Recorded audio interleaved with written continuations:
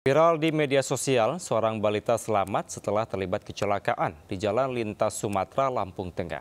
Ia terekam kamera saat merangkak dari truk yang ringsek.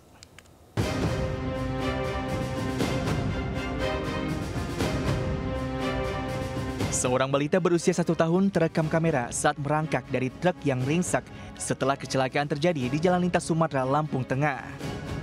Beruntung anak dan ibunya tersebut selamat dari insiden ini. Mereka hanya mengalami luka ringan dan lecet di kepala dan tangan.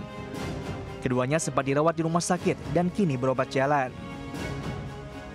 Untuk yang dirawat hanya bapaknya saja, untuk anak dengan ibunya rawat jalan. Untuk kondisi bapaknya terbaru membaik, eh, kesadaran sadar tapi belum sempurna dan emang masih gelisah karena kesakitannya. Kecelakaan dipicu akibat sopir truk bermuatan sepeda motor mengantuk.